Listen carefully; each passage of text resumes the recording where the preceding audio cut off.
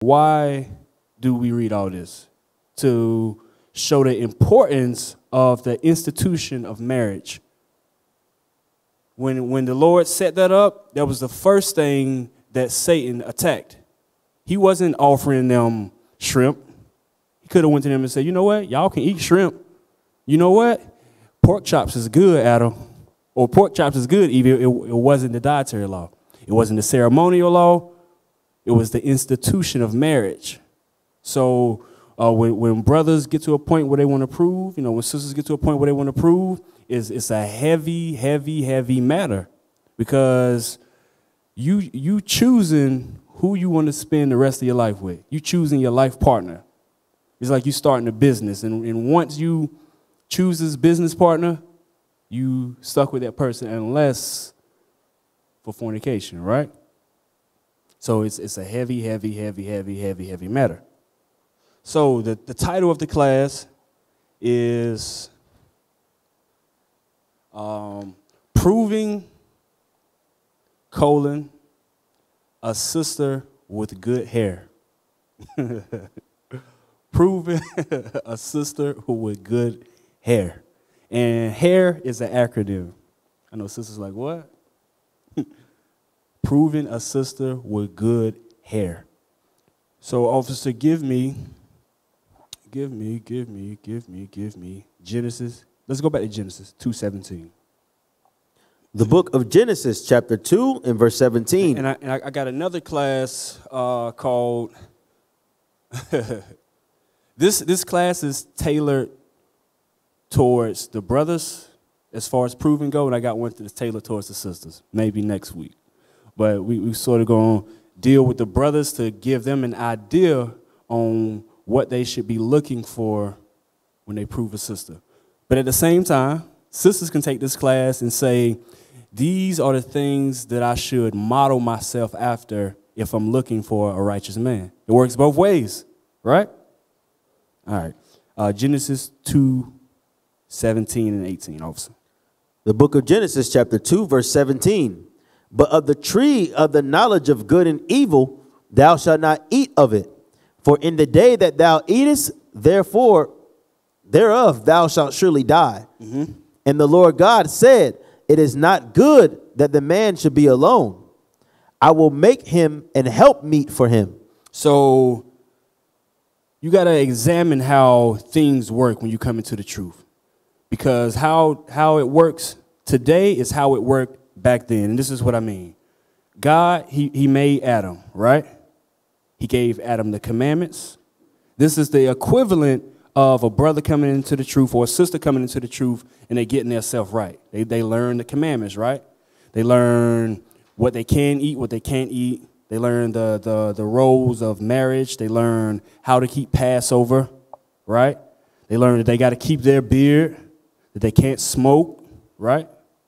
And then over a course of time, that brother or that sister would be ready to get married. It was Adam was the same way. God, he gave him a home, which was the Garden of Eden, right? He gave him the commandments, and then he gave him a wife. It's, it's the same thing for us. Read, read 18 again, officer. Verse 18. And the Lord God said, It is not good that the man should be alone. I will make him an helpmeet for him. And when that time comes, that sister has to be, brothers, that sister has to be a help meet for you. Meaning she she should be, and, it, and, it, and that comes with time, right? Because you have to build that sister up and groom her. But her mindset should be also that I have to be a help meet for him, meaning just for him. Meaning y'all fit like y'all fit snug like a puzzle. If you do it the right way, then the scripture says she was ordained for you from the to you from the very beginning. That's, that's how that worked. Get, um, get uh, read verse 21, verse 21 through 24. Verse 21 And the Lord God caused a deep sleep to fall upon Adam, and he slept. And he took one of his ribs and closed up the flesh instead thereof. And the rib which the Lord God had taken from man made he a woman and brought her unto the man. So it said when Eve was made, she was brought to the man. That's why a, a woman is given away in marriage the way she is. It was like that from the very beginning. It says she was brought unto the man. Also, you see rib, you know, sometimes, just a quick sidebar, sometimes we be, brothers say, well, my rib, th- this is why. Read on, officer. And Adam said, This is now bone of my bones and flesh of my flesh. She shall be called woman mm-hmm. because she was taken out of man. Therefore shall man leave his father and mother and shall cleave unto his wife, and they shall be one flesh. And they shall be one flesh, meaning they're system. The sister don't have her own mind anymore. Her mind is after her husband. They they one flesh. Right? So uh, we, we're gonna go through it as, as the lesson goes on, but um, I'm gonna make the point on how when a when a brother is proven, he should be looking for a sister who who has the strengths in the areas that he's weak at. For an example, like we was talking last night to the to the brothers, if if a if a single brother is bad with finances, he should make sure that the sister he's proven has you know she can deal with money. That that you know that's her thing, and then together they'll be strong at that. And her weaknesses should be his strengths. It worked hand in hand. And it, it didn't change in the New Testament. Give me Matthew, real quick, just, just for precept's sake. This never changed in the New Testament.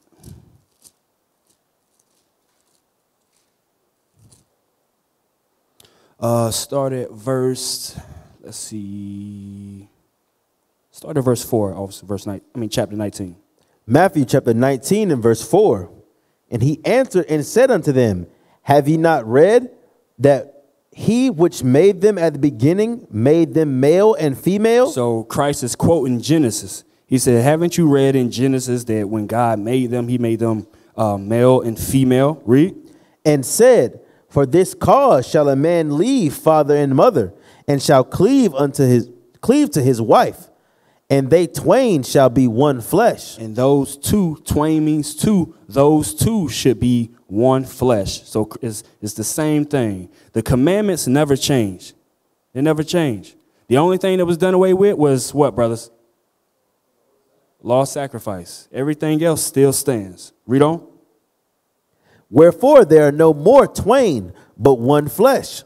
What therefore God hath joined together, let not man put asunder. I mean, the institution of marriage is, is permanent, unless, read, They said unto him, Why did Moses then command to give a writing of divorcement and to put her away? Mm-hmm. So Christ said this, and then they asked Christ, okay, so if that's true, then why, why did Moses allow divorce? Read. He said, He saith unto them, Moses, because of the hardness of your hearts, suffered you to put away your wives, but from the beginning it was not so. From the beginning, the institution of marriage was forever. Read. And I say unto you, whosoever shall put away his wife, except it be for fornication, and shall marry another, committeth adultery. And whoso marrieth her which is put away, doth committeth adultery. So, unless for fornication, brothers, the sister you take is going to be the sister you got to deal with forever. Right? So, it's a thing, a, heavy matter. It- it's not like uh, two brothers or two sisters may get into it and you they may have to uh, apply Matthew 18, right? And they they in that let's say let's say Lael tells me something personal and then I, I spill the beans so to speak right?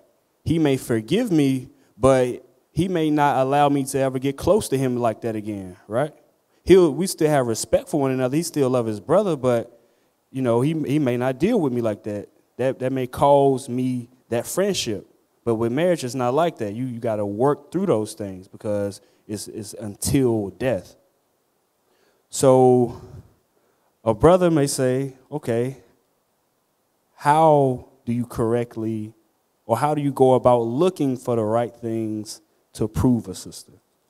Sirach 6.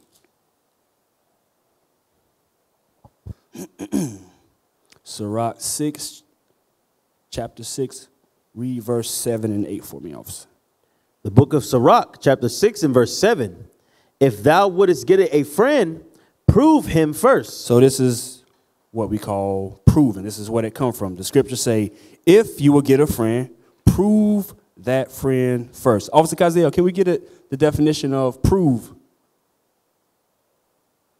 Let's, let's get a uh, definition of the word prove. Oh, I like that. Read the second one for two. The definition of prove to demonstrate one's abilities or courage. That's what proven is. You're looking to see if the sister or the brother possess certain abilities. Sisters, you got to know whether or not the brother going to be able to take care of you, uh, protect you, provide for you, right? In turn, the brothers, the brother has to look for things like uh, whether or not the sister is modest, shamefaced, whether or not she she has um, what's the what's the term? She's family orientated, right? Because you want to have children with that sister, right? And the sister should be learning these things, how to take care of children, right? So on and so forth. Read that again, officer. The, Six and seven. the book of Sirach, chapter 6, verse 7. If thou wouldest get a friend, prove him first, and be not hasty to credit him. And the scriptures say, don't be hasty to credit the sister. Meaning it's a process, brothers. It's a it's a process. You can't expect to get to know somebody in four months, six months. A brother shouldn't be ready to marry a sister after they don't prove for four to six months. It, that thing take time. If but and, and even when you get married, you still learning one another, right? You, you still adjusting. You still got to teach the sister. She's still learning how to please you. So it's, it's a process. You can't be hasty to credit uh, the brother or the sister. Read. For some man is a friend for his own occasion. Because some some some sisters will it say will be a, a friend for their own occasion, meaning all you get is the representative at first. But you got to give time for those things to wear away, right? Because when you, you meet somebody, they're going they going uh, tell you or show you the best of them. But as time goes on, you're going if you if you pay attention the way you're supposed to, then you're going to see the little cracks in the armor, right? You're going to have a chance to see how the sister deal when she's corrected, how she deal with the elder sisters when they get on her. But you got to give those those things time to show. That's why leadership says um, generally at least a year, right? Generally at least a year. You got to get that thing some time. Read verse 8 again. For some man is a friend for his own occasion. And it could and it could be the same thing on the sister side. So you got to know whether or not the brother really wants to prove you because he's looking for a righteous woman, not just because he burning. Read. and will not abide in the day of thy trouble. Because if you prove the brothers, uh, if you prove if you proven a brother sister and you don't prove him correctly, it says he will not abide in the de- time of trouble. Meaning, y'all don't go through it correctly. It's it's a y'all lay together. You get pregnant and then the brother out. So the scripture say, give that thing some time. Give it some time. Get uh get for me Genesis 127. Genesis chapter 1, verse 27. The book of Genesis, chapter 1 and verse 27. Uh, read verse 28 too. I just want to make a point real quick. You said 28 as well. Uh, yeah, 27 and 28.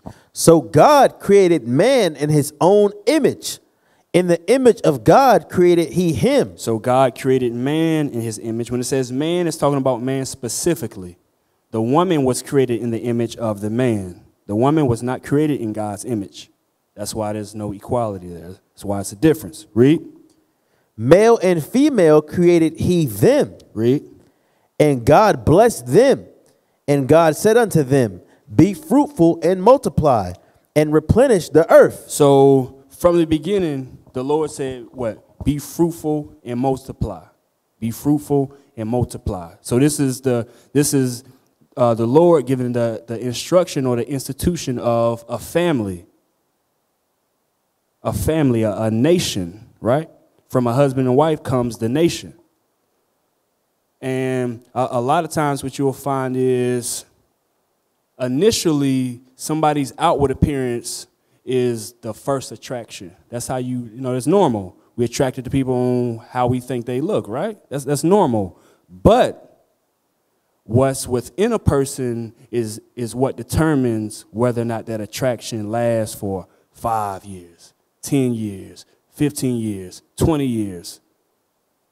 That's what determines that thing. So I'm going to say it again. The, the first thing, uh, let me see, let me find the quote. The outward appearance initially is, is how people are attracted to one another, right? But over time, what's on the inside determines whether or not that attraction lasts. Give me Mark 7 21, officer.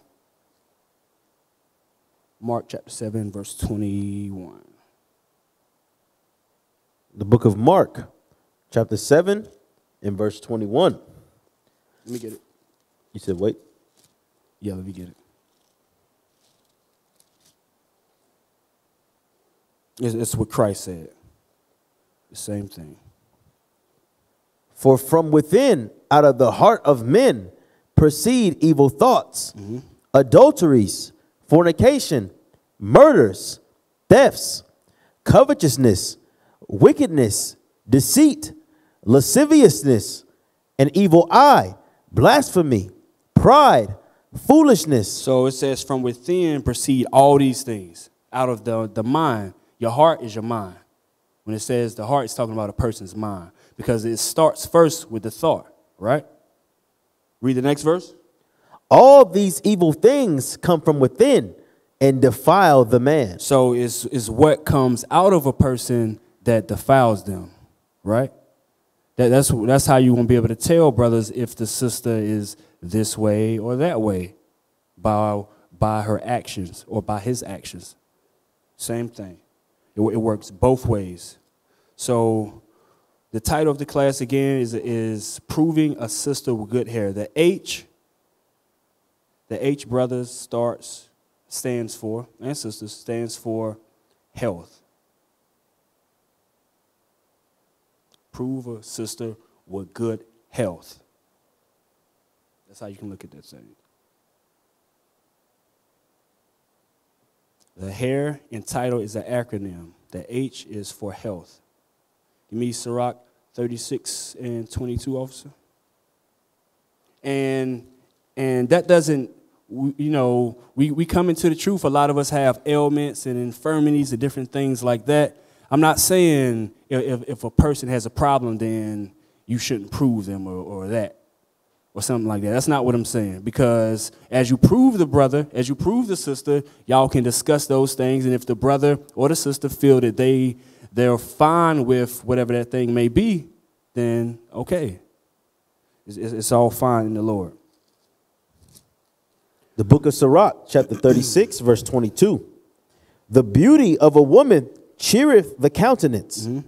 and a man loveth nothing more better. So I want to I want to talk about health from a aspect of like a physical attraction, right? Because that's the first thing. So and, and you can list it like this: health. The subcategories is going to fall is going to fall like this: the appearance of a person. Next is going to be uh, health concerning their body. The next one is going to be after the mind. And then the next is going to be uh, a sister's spirit, brothers. So appearance, body, mind, and spirit. This is what you should be looking for in the proving process. Yeah, you want to know if the sister can cook. Yeah, you want to know what the sister, what's her favorite color.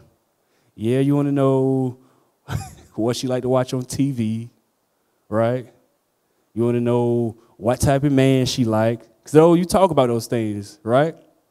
But the, these, this is when you sort of get past that initial stage of proving, when you've learned the small, minute things, you, you start really talking about what matters in the marriage, right? All right, uh, read that for me, officer. Read it again. Verse 22 The beauty of a woman cheereth the countenance, and a man loveth nothing better. So it says, the beauty of a woman makes a man happy. Every, every man likes a beautiful woman, and, that, and that's a relative. So there's nothing wrong with that per se, but that shouldn't be all the brother is looking for when he wants to get married. Um, I remember it was who wedding? I think it was Markon's wedding. And uh, brother came to leadership and he said, you know, leadership, uh, I want to prove a sister. And y'all got any sisters up here? He was from another school. And we asked the brother, we said, okay, well, what kind of sister are you looking for? And this is the trick question. Just to give y'all some name. This is the trick question. You say, what kind of sister you looking for, bro? And he said, I want, I want a sister that's pretty. You ain't ready to prove, brother. Because he looking for the sister for what? For lust. And we, we all know it's natural to like somebody that you, phys- that you physically attracted to. We know that, but you know, what are you looking for in a sister? So it says, a man loves uh, the beauty of a woman, right? But that, that shouldn't be all that he's looking for. 1 Timothy 2, 1 Timothy chapter 2, verse 9. It shouldn't be all about what she looks like. You know, leadership said all the time, those things over time fade away. You The know, book of First Timothy, chapter 2, and verse 9. Let me, let me get it. Uh, go ahead. In like manner, also, the women adorn themselves in modest apparel. So it's better for a sister that she adorns herself in modest apparel. Read. with shamefacedness That she adorns herself with shamefacedness. So this, these are the um, Timothy. I mean, Paul is telling us, brothers, what you should be looking for in a sister. What kind of qualities she should have. She should adorn herself in modest apparel.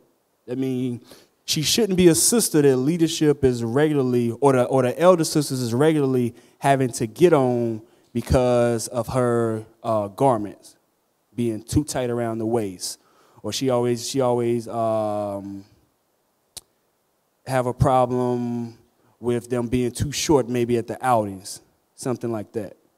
So the scriptures say that she shall adorn herself in modest apparel. Read. with shamefacedness. And the sister should be shamefaced. Can we let's get that definition, Officer Kaziel? Shamefaced. Put it up on the screen, officer. So the definition, I'm just reading right quick, Officer Yoshua. It says feeling or expressing shame or embarrassment. But what that's going into is you see the synonym, it says um, contrite, repentant, that's what it's talking about a sister that's shamefaced. Meaning a sister, if, if a sister sees uh, an officer and a soldier speaking, she shouldn't feel comfortable with just approaching them and buttoning the conversation in the midst of their speech. That's not shamefaced. A sister shouldn't feel comfortable um, always in a brother, always in the brother's face. Now we know it's, it's different things where uh, the sisters and brothers work collectively on teams. That's different. But you, you shouldn't. It should. The sisters shouldn't be over here after the Sabbath, and you got that one sister on this side in the in the one of the brothers' face. That's not shame face. That's what that's talking about. Go back, Officer Yehoshua. Um, read verse nine again. First Timothy chapter 2 and verse 9. In like manner also that the women adorn themselves in modest apparel, with shamefacedness and sobriety, not with braided hair or gold or pearls or costly array. So Paul is letting us know it is not about is is exactly it's not about the the physical appearance. Read. But And, and, and those things aren't bad. It, the, scripture in Sirach said, yeah, a man love a woman, a beautiful woman, right? So the sister should take care of themselves, right? They should wear the, the, the face jewelry. They should wear the, you know, the earrings and all that stuff, the get up.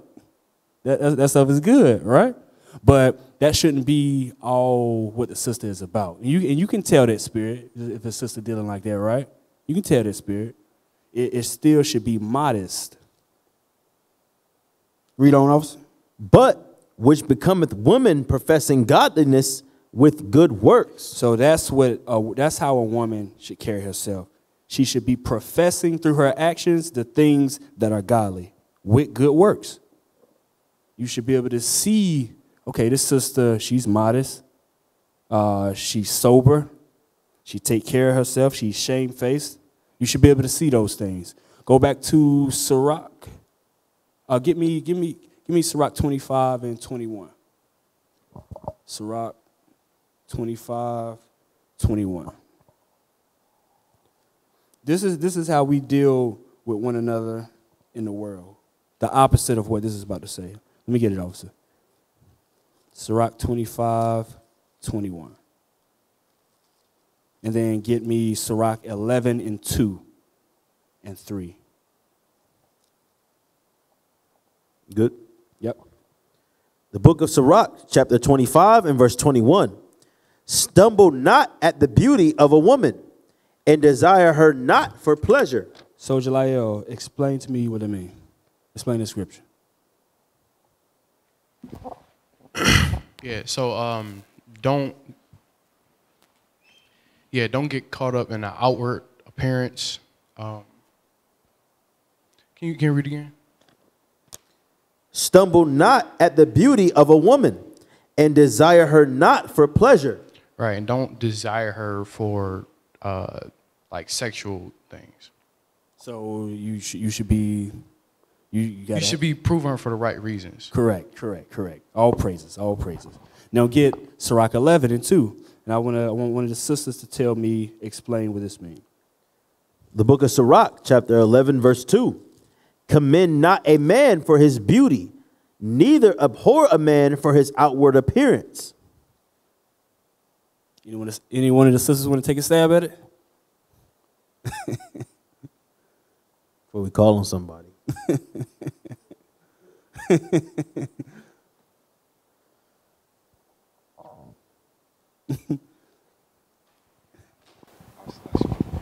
Shalom. Shalom, sis. Okay. Uh, What was the question again? Uh, read it again for officer. The book of Sirach, chapter 11, verse 2. Commend not a man for his beauty, neither abhor a man for his outward appearance. Don't be lusting after the brother either. Like y'all are gods, y'all look handsome, but um, don't just want him because he look good. And in the latter part, don't not want him because he may not be comely, but he can be the man that you need to lead you. That's a, that's a very good answer, sis. All praises. Get us sister hand. All praises, all praises. That's, that's a good answer. so you saying, sis, if he look like Beetlejuice, is okay? Long as he keep the commandments? Some sisters like Beetlejuice. hey, hey, put Beetlejuice on, Beetlejuice on the screen, Officer Cosdale. yeah, yeah. Put Beetlejuice over there. Let me see if the sister. Let me see if she's serious about what she's saying. So you saying, sis? Put it up there. And I, and I'm not picking on the brother condition. This is the first person that came to mind. So what you saying, sis? As long as he. They said, uh uh As long as he keep the commandments.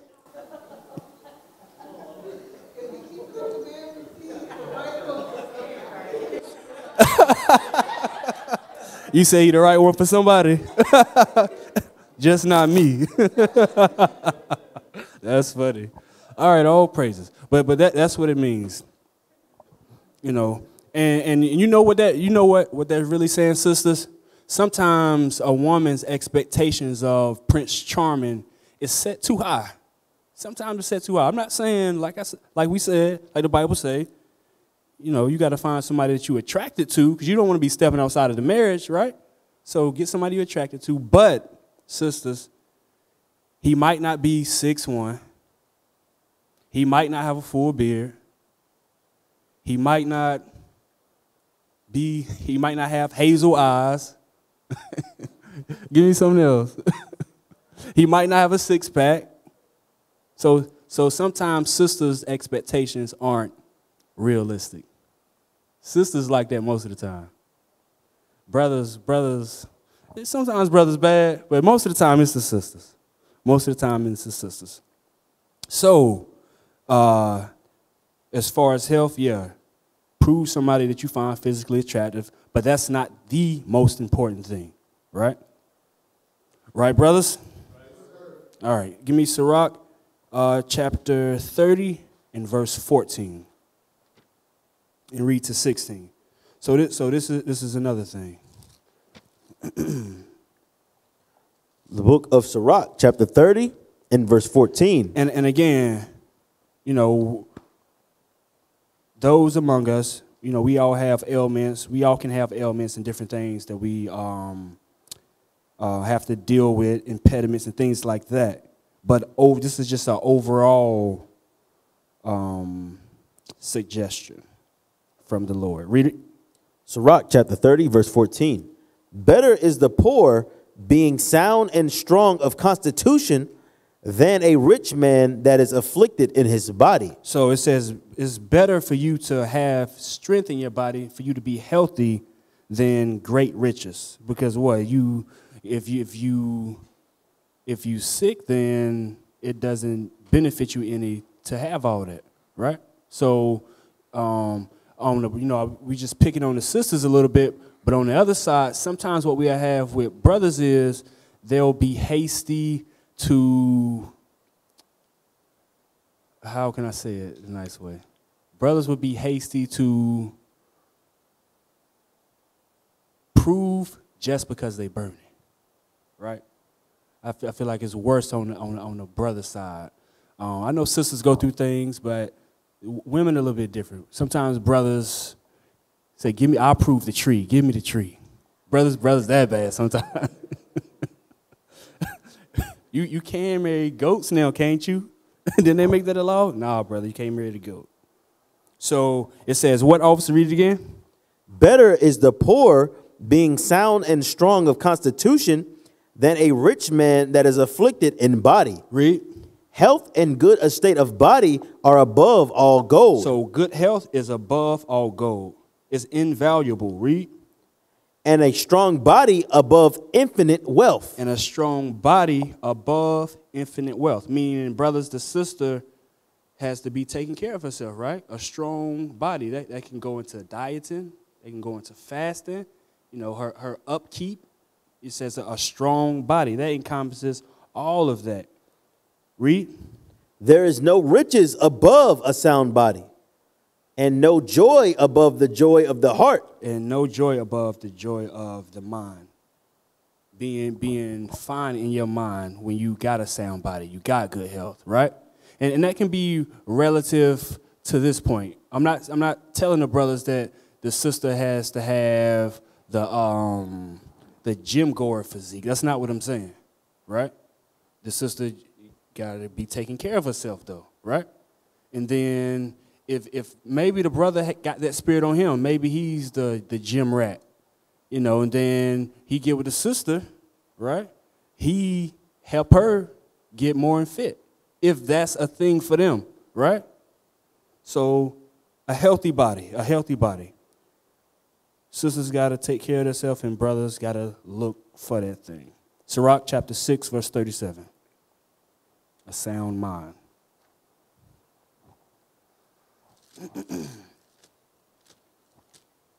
This is what we mean by a sound mind. Sirach 6, 37. The book of Sirach, chapter 6, verse 37. Let thy mind be Thy upon, what? It says, let thy what? let thy mind be upon the ordinance of the Lord, mm-hmm. and meditate continually in his commandments. He shall establish thine heart, and give thee wisdom at thine own desire. So a sister that has a sound mind, brothers, her mind is going to be, her mind is going to be uh, what the Bible says she should be doing. Meaning, it's, it's going to be scriptural. She's going to have basic knowledge of the Bible, right? She's going to know. She may even know how to break down her tribe, her specific tribe, right? Preceptual knowledge is a little bit different for women because the Most High deals with the man. It's our job to teach them, whether it's from a leadership standpoint or a husband and wife. So a lot of times we'll be sharper, sharper in precepts, brother, but the sisters have to have some mind towards uh, the Lord, right? I mean, she got to be studying too, right? She got to be do, read her four chapters. Um, she got to know the, the basic things that's required of her as a, as a woman, right? How how to cook. And I ain't saying she got to be a chef, but she, you know, 20 years old, 22 years old, 26 years old, sister need to know how to cook more than uh, eggs or oodles and noodles. he said cereal. Yeah, he said hot dogs and hamburgers. that's a that's a single brother answer. he said cereal. But yeah, sister, you know, the sister mind have to be according to righteousness. Read that again, officer. The book of Sirach, chapter 6, verse 37. Let thy mind be upon the ordinances of the Lord. So, sisters, your mind have to be upon the ordinances of the Lord. I mean, uh, always thinking about God's laws. Read. And meditate continually in his commandments. And, she, and the sister, sis, you got to be meditating in God's commandments. Because even though the Most High deal with the men more, when the man and the woman have children, then it's going to be the sister's job to teach the children. So now she becomes a teacher. And a lot of times, what you'll find is when you first, from the time you first come into truth up until that first, maybe I'll say maybe three years, that's where a person learns the most. You're not really on a lot of teams. All you got to do, all you have to do is study in a sense, right? So a sister really should be in the Bible just as much as the brother. Now the brother's knowledge will have a tendency to increase more, but a sister, sister, y'all can't be light, right? Y'all are the ones that prepare the next generation to come along. Read on, officer.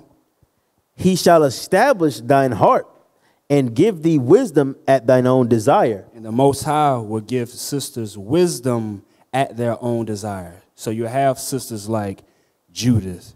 You have sisters like uh, Deborah. You have sisters like Sarah. You have sisters like, somebody give me another one. Esther. is a good one. You have sisters like Susanna, right? You have sisters like that, that they, they showed their wisdom based off, or they, they showed their importance based off, um, or their power based off uh, what was righteousness according to the Bible and not uh, marriage is 50 50 or, uh, well, I work a job too. This is both our money. That ain't, that ain't what they're talking about. Wisdom according to what the Bible says. Give me uh, Proverbs 15 and 4, officer. This is transition into a sound spirit. Proverbs 15 and 4. The book of Proverbs, chapter 15 and verse 4. A wholesome tongue is a tree of life. So it says, a wholesome tongue is a tree of life. When it says tongue, it's just talking about communication, brother, right? What you communicating with the sister about, you're gonna know whether or not, okay, this sister light, this sister, or this sister study. You know, she she pay attention during the Sabbath class. Read. But perverseness therein is a breach in the spirit. But a sister who mind is on Cardi B, Atlanta Housewives, um, Game of Thrones, foolishness, it says it's, it's going to be a breach in her spirit. Why? Because what you take in is what you're going to see in her actions. What she takes in on a weekly basis, that's what you're going to see in her actions, right?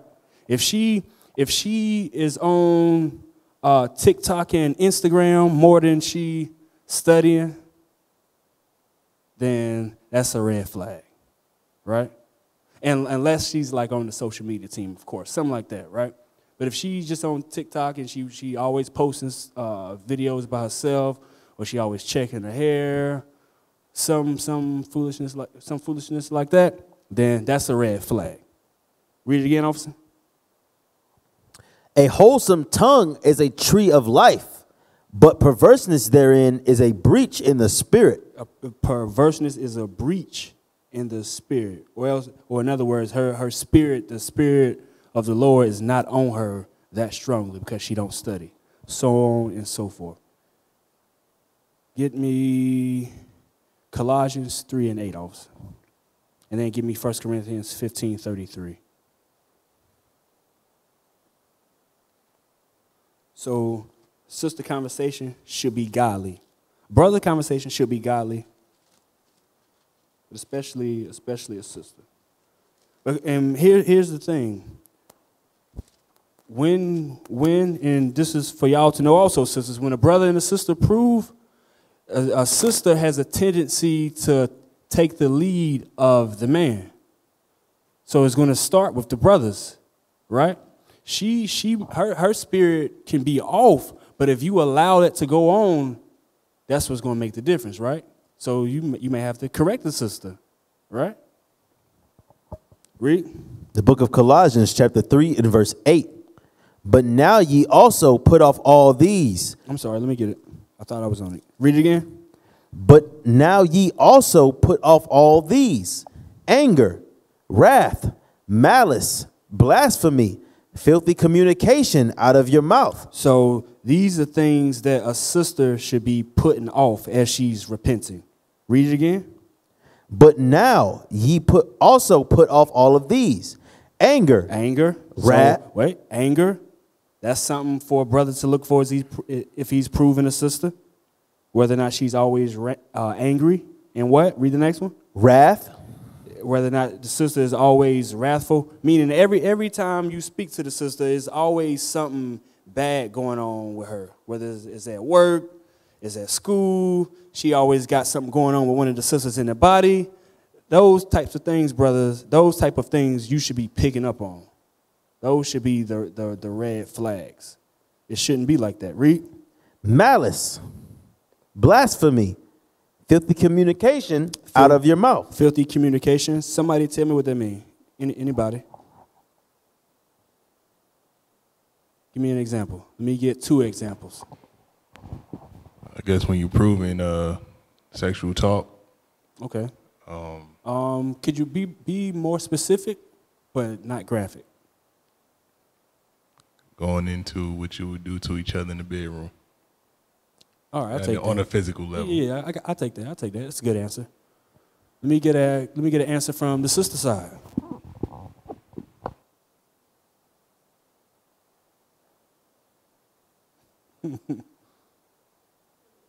Sister's like, I'm writing. I can't answer. I'm writing right now. Maybe asking each other what you're wearing or show um, asking to send pictures back and forth. That, that, that's a good one, sis. So, sister, that's, that's a very good one. Sisters, you proving a brother. He should he should he should never ask you what you wearing. Never. You know why? Because if you go into the Sabbath, he know you wearing what? Purple and gold. If it's a feast day, he know you wearing what? Brown and gold. It's, it's that simple. That's that's a very good answer, sis. That's an answer from experience.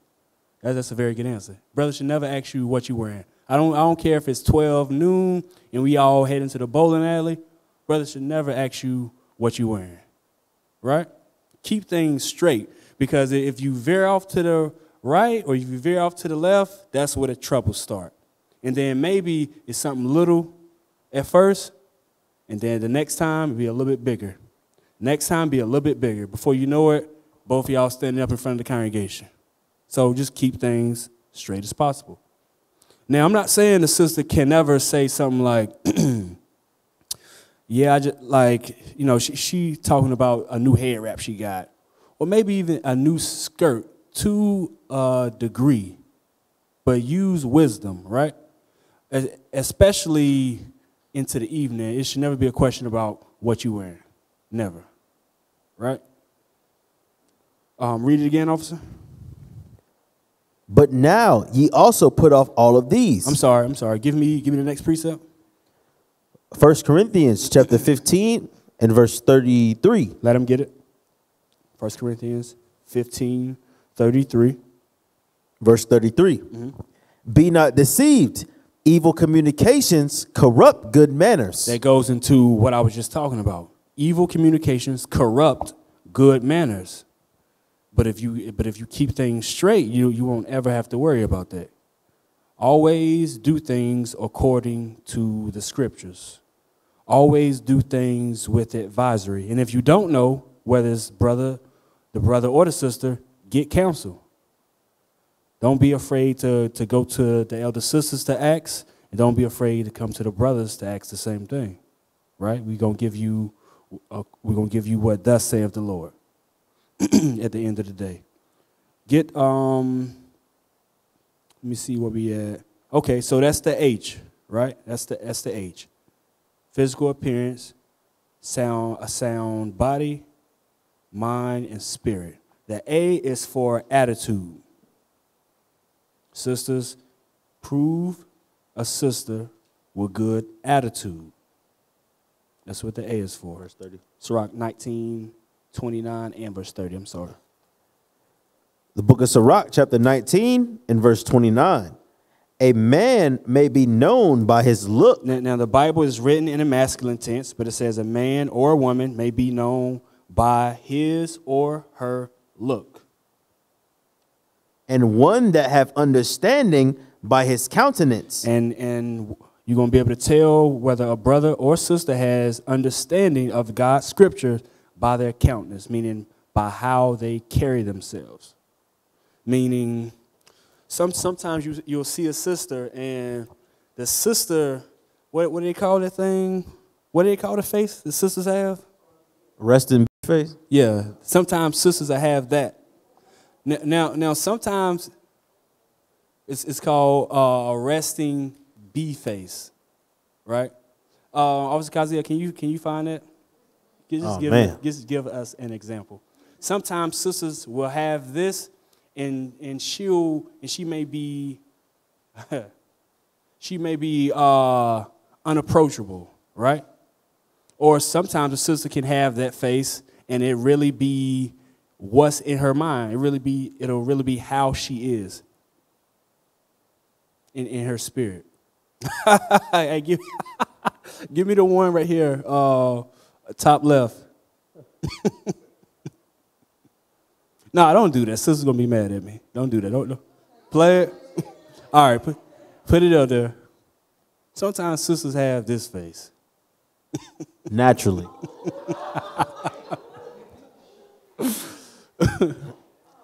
Officer, Sisters got the go ahead. they don't know that when rest in rest in B face means when your face is at rest. Meaning you're not making any face, that's just how you look. It's, it's just stuck. But, but, but you unapproachable. You just look mean all the time. Read that scripture again, officer. A man may be known by his look, and one that have understanding by his countenance And when you- thou meetest him. And you'll know somebody by how they look. Meaning what? You can judge, you crazy officer. You can judge a book by its cover. this, this some sisters right here. Like, dang. You can't even shalom the sister. And that and and uh, a person's look when it's talking about a sister, that can go into her how she does her makeup, right? Can be can be over the top. Can go into the the umbrellas, right? The eyelids. You going you gonna know, okay, this sister is adhering to the the counsel and advice leadership is given in these classes about marriage and the sisters. You gonna be able to tell that, right? you know, you know, we all come in, we sick, we trying to get ourselves right, but after a while, how how we looked and dressed and um, presented ourselves in the world should start to fade.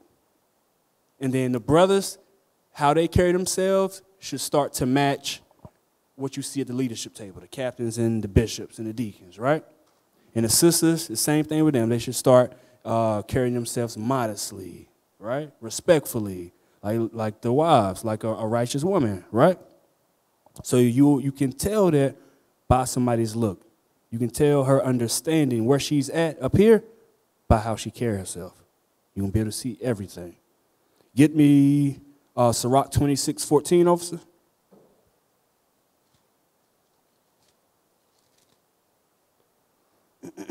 The book of Sirach, chapter 26, and verse 14. A silent and loving woman is a gift of the Lord. And here's another thing. It says, a silent and loving wife is a gift of the Lord. So what does that mean? If she one of the sisters, we don't have it, we don't we don't we don't really have, you know, every congregation have their problems, right? For the most part, we don't. But if you if, if you see a sister that's uh she's she always loud, right?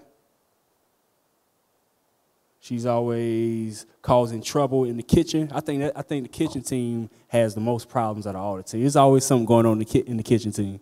Am I right, sis? and it's, it's, it's nothing but sisters in there. So that's what you got, right? But the, the sister you proving shouldn't you shouldn't hear that of her, a silent and a loving wife, right?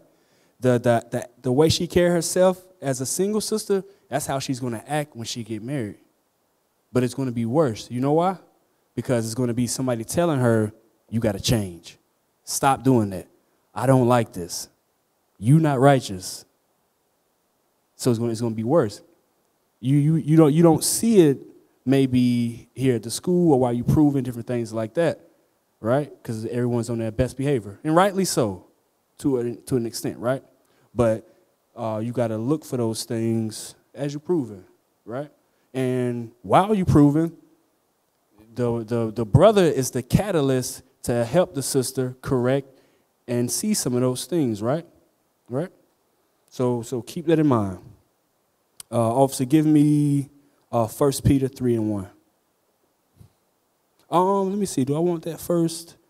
Um, no, first give me first give me 1 Kings 1 and 11 through 33.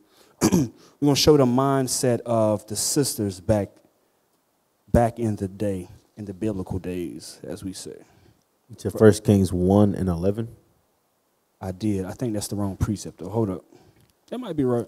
Let me get, let me get there. 1 and 11. Um, First Kings. Yep, no, that's right. First Kings 1 and 11. The book of First Kings, chapter 1 and verse 11. Wherefore Nathan spake unto Bathsheba. So, so this is when King David had got old. We're going to go through a little bit of history now. This is when King David got old and he was um, about to sleep with his fathers, as the scriptures say, right? He was, he was about to pass, and the kingdom had to be handed to the successor. Y'all with me? All right. So read that again, officer. Wherefore Nathan spake unto Bathsheba. Stop. Real quick. Who is Bathsheba? Anybody can answer. Uh, Solomon's mother. That's correct. All praises. Uh, read it again, officer. Bathsheba was Solomon's mother. Wherefore Nathan spake unto Bathsheba, the mother of Solomon, Dang. saying, Hast thou not heard? I, I forgot to say that. Yeah. I was Brother wondering why they didn't answer. I was like, it's right there. Yeah, brother should have just looked down. All right, all praises. So that's Solomon's mother. Read on. Hast thou not heard that Adonijah, the son of Haggith, doth reign, and David our Lord knoweth it not? So uh, the promise was made that Solomon was going to receive the kingdom when David died. So, but now somebody else is sitting on the throne, so it's a problem. So one of the prophets goes to Bathsheba and say, and she and he's bringing the the issue to her. Read. Now therefore come, let me, I pray thee, give thee counsel that thou mayest save thine own life and the life of thy son Solomon. And it, this was of the Lord because it was already prophesied that Solomon would sit on the throne. Read. Go and get thee unto King David, and say unto him, Didst thou, didst not thou, my lord, O king, swear unto thine handmaid, saying, Assur- Assuredly Solomon thy son shall reign after me, and he shall sit upon my throne? Why then does doth Adonijah reign? Behold, while thou yet talkest there with the king, I also will come in after thee and confirm thy words. So what he telling her is, um, go to David and tell him, let him know what's going on, because David was old. He said, while you're talking with David, I'm going to come in and I'm going to speak the same words. I'm going to confirm, reconfirm what you're saying. Read. And Bathsheba went in unto the king into the chamber, and the king was very old. And Abishag the Shunammite ministered unto the king. And Bathsheba bowed and did obeisance unto the king. And the king said, What wouldest thou? And she said unto him, My lord. My thou- what? My lord. So David was the king. This was one of his wives. She paid him obeisance regardless of that, right? Some, you know, the scriptures say that Sarah called Abraham Lord. So you, you see how this, how the women dealt with the men back then. This was a common, this was a common thing. Read. My Lord, thou swearest by the Lord thy God unto thine handmaid, saying, Assuredly Solomon thy son shall reign after me, and he shall sit upon my throne. And now, behold, Adonijah reigneth, and now, my lord the king, thou knowest it not. And he hath slain oxen and fat cattle and sheep in abundance, and hath called all the sons of the king and Abiathar the priest, and Joab the captain of the hosts, but Solomon thy servant hath he not called. Because Solomon was the rightful heir to the throne. Read. And thou, my lord, O king, the eyes of all Israel are upon thee, that thou shouldest tell them who shall sit on the throne of my lord, the king after him. Otherwise it shall come to pass, when my lord the king shall sleep with his fathers, that I and my son Solomon shall be counted offenders. And lo, while she yet talketh with the king, Nathan the prophet also came in. So Nathan came in after her, like they spoke about. Read. And they told the king, saying, Behold, Nathan the prophet. And when he was come in before the king, he bowed himself before the king with his face to the ground. And Nathan said, My lord, O king, hast thou said, Adonijah shall reign after me, and he shall sit upon my throne? So he come to David and say, "Hey, what, what's going on?" Because Adonijah is about to be king. Did you set this up? Is if is this of your counsel? Read. For he is gone down this day, and have slain oxen and fat cattle and sheep in abundance, and have called all the king's sons and the captains of the hosts, and Abiathar the priest. And behold, they eat and drink before him, and say, God save King Adonijah. But me, even thy servant, and Zadok the priest, and Benaiah the son of Jehoiada, thy servant Solomon, have he not called? Is this And- thing because he knew that they understood that it was supposed to be Solomon. Read. Is this thing done by my lord the king? And hast thou not showed it unto thy servant, who shall sit on the throne of my of my lord the king after him? Then King David answered and said, Call me Bathsheba. And she came into the king's presence and stood before the king. Stop. Some, somebody tell me. Uh, let me see if the sisters get it. Tell me the significance of what just happened. Read verse twenty-seven again, officer. Verse 27 Verse twenty-seven and twenty-eight. Is this the thing done by my lord the king? And thou hast not showed it unto thy servant, who shall sit on the throne of the Lord the king after, my, after him? And King David answered and said, Call me Bathsheba. And she came into the king's presence and stood before the king.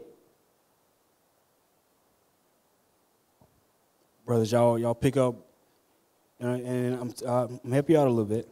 The her mannerisms. Anybody pick up on it? You got it? What you got? Right here, in front of Quinn. Let me let me hear. Um, she um, she uh, dealt with him respectfully, like calling him Lord and everything. So uh, she didn't uh, deal with him disrespectfully. Okay. Um, yes. Uh, give me a little bit more. What's what's hap- What can you tell from these two verses, specifically verse twenty-eight? Anybody want to help him out? Any of the brothers want to help him out? Sisters? I know you know, man. Uh, let's see. Okay, let's hear from Amaziah. Is she questioning his actions? Mm, no, No. not not not not not quite. What you got, Laya? Take a swing. Uh, she came when he was called. When she when he called her, she Me- came. Okay, right. So meaning what? When O- obedience. yeah, you right. Uh, you I don't know if you know how you right. You right. Give me a little bit more. Uh, It says she she just just for the sake of time. It says she. I mean, you said she came when she was called. So that means that when Nathan and David were speaking, she left. She had that respect for them, and she came back when she was called. But it, it- I'm just showing you the mannerisms in the sisters back then and how they dealt with the men, right? It was already always a high level of respect for the men. So I just want to show y'all that thing. And also how she called him Lord, so on and so forth. So on and so forth. Give me 1 Peter chapter 3. 1 Peter chapter 3, verse 1. The book of First Peter, chapter 3, and verse 1. Let me get there. Likewise, oh. Let me get there. I'm sorry. I was in 2 Peter. Go ahead. likewise, ye wives, be in subjection to your own husbands. So this is the correct mindset that a sister should have. She have to be in subject to her own husband, meaning when a sister get married, she she has to understand that when problems arise in the marriage, she can't run to captain such and such or officer. You got to deal with the Lord, right? Read on. That if any obey not the word, they also may without the word be won by the conversation of the wives. And and this is and this is talking about uh, a sister who may have a, a lord that's not in the truth. It say that he may he could be won over by her righteous actions, her showing herself in uh, submitting to him, right? Even though he may not believe, right? Because sometimes it takes time. But I, it's something I want to pull out of verse three. I think it is. Read on. while they behold your chaste conversation coupled with fear, whose adorning let it not be that of outward adorning, So let not the adorning be of the outwardness, right?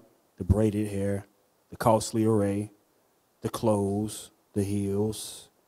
All those things are good, but that's not, again, that's not what all the sisters should be about. Read. of plaiting of the hair, and of wearing of gold, or of putting on of apparel, but let it be the hidden man of the heart, So this is this is who a brother, this is who a brother is getting to know when he's proven. It, it says the hidden, the hidden man of the heart, meaning the hidden person of the mind, meaning again, someone's actions is going to show. I mean, let me say it right. Someone's actions is going to show based off what's up here, right? So you you you you proven to get to know who someone really is. Read verse four again.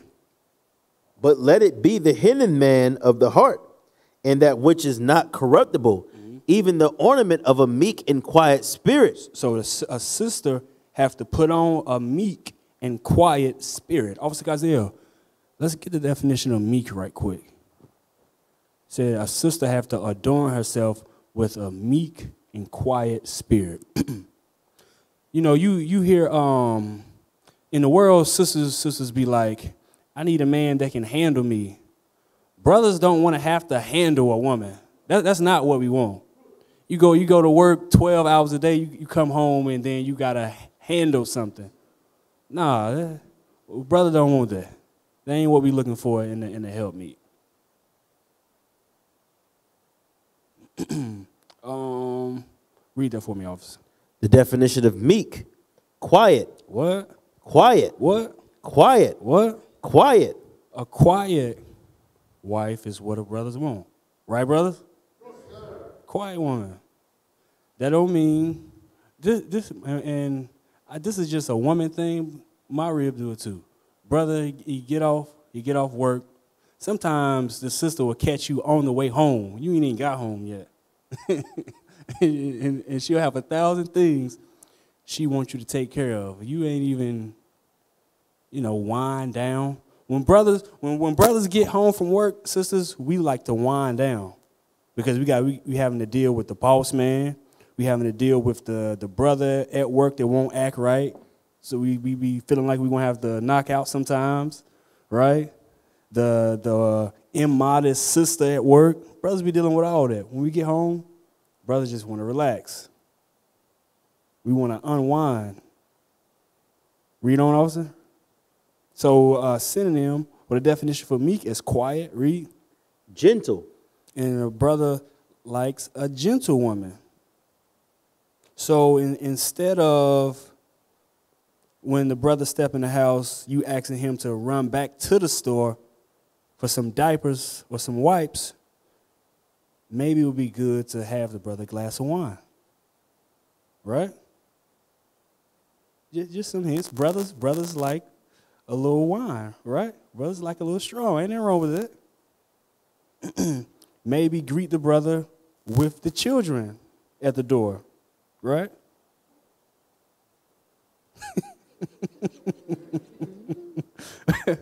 Read on, officer. And easily imposed on. Mm, and easily imposed on. You know what that means? that sister is malleable. Get the definition of malleable, officer. They, they got a good uh, synonym, submissive. That's what that means. I want uh, malleable, though. A sister that's malleable. Officer Yehoshua, can you give me the precept that says, uh, precept about having a wife after your mind? Can you give me that in Sirach? You know what I'm talking about? And maybe Find it for you. Okay, maybe chapter seven.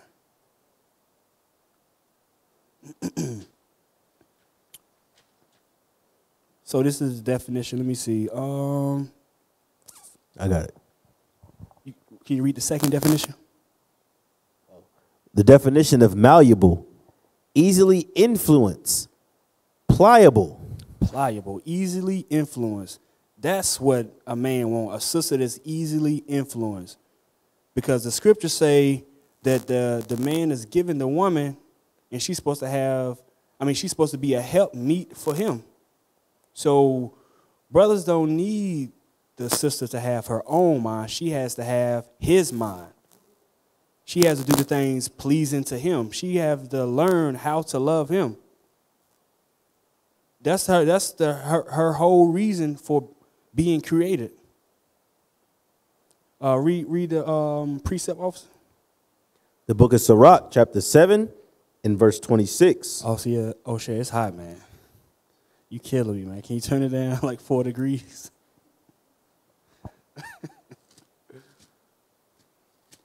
you got hatred in your heart.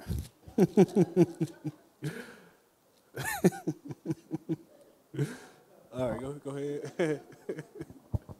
Thank you, officer. Go, go ahead, officer Yehoshua. Sirach, chapter 7, verse 26. Hast thou a wife after thy mind? So the Bible says this is this is the Bible's instruction to the man. It says if you have a woman that's after your mind, read, Forsake her not. never leave that woman. Sisters want to know how to get the man and how to keep the man. God is telling you. Read it again. Hast thou a wife after thy mind? Forsake her not. The Bible says to forsake the, forsake her not. Don't don't forsake that woman. Stay with that woman because in today's society, is not a lot of women that have that mindset. Now it's easy for the sisters to learn that here in the truth, but it still has to be learned, right? The Bible says not to forsake a woman like that. Read. But give not thyself over to a light woman. And don't give yourself over to a light sister. Meaning a sister who don't reason, reason doesn't come forth before she act. Right? You you always gotta get on the sister about the most simple, the most simple things. You say, here's here's fifty dollars to go shopping, and then the sister go to Dollar General to the discount aisle and just buy a whole bunch of stuff that's not needed. That that's that's a light, right? Stuff like that. Now I'm saying you I'm not saying you can't catch good deals and things like that. But if the intent was for you to go pick up wipes, diapers, cleaning supplies, food, then that's what it is. That's what it is. Read it again, officer. Oh, sorry. Hast thou a wife after thy mind? Forsake her not, but give not thyself over to a light woman. But give not yourself over unto a light woman. Um, what's what's that precept? Let me see. Um, Sirach 22 and 4. I was trying to see if I had it wrote down. Let me see. Um, not that one. That one's good. Sirach 36. 36, 23. Let me see what that say. I'm going to show, show the sister something. Sirach 36, 20. Yep, 23. The, the book of Sirach, chapter 36, verse 23. If there be kindness, meekness, and comfort in her tongue, then is not her husband like other men? So it says if a, if a, if a sister and she have kindness, meekness, comfort in her tongue, meaning her speech, the way she carry herself, it says her husband is not like other men, meaning he got him something special. Meaning the sister adds value to the man by being that way because every man ain't got every man don't have that. That's how that's how a woman adds value to a man's life. It's not necessarily about how much you make. That's good, but at the end of the day, a brother would rather a sister that's submissive and let me go out and make the money. You take care of the household than a sister who bring a lot of money into the house, but she a dragon. Get me uh, Sirach 7 and 26. This is the I. This is the I within the acronym. The I is for intellect. So the scriptures say, don't give yourself over to a light woman. The I is for intellect. Sirach chapter 7, verse 20. Oh, we, we, we just read that. Yes, We just- sir. We just read that. Get me um um read it real quick and then get Judith 5 and 11. The book of Sirach, chapter 7, verse 26. Hast thou a wife after thy mind? Forsake her not, but give not thyself over to a light woman. So it says not to give yourself over to a light woman, meaning make sure the sister got some sense. Because brothers ain't right, but sometimes sisters ain't right either.